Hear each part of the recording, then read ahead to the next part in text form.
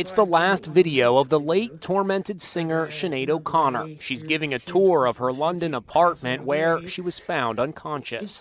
Hi, guys. The video was posted on July 9th. She's showing off the sparsely furnished space, and she appears to be in a good mood, turning the phone toward a guitar on the wall that she says is from the late singer Johnny Cash.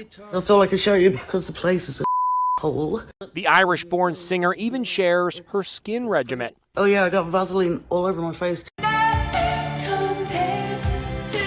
O'Connor achieved fame in the early 1990s. Everywhere is war. Perhaps she is best known for the uproar she caused when she performed on Saturday Night Live in 1992, when she tore up an image of Pope John Paul II.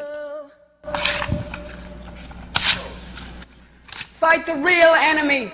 Sinead O'Connor will be remembered for her struggles, but also for her hauntingly beautiful voice.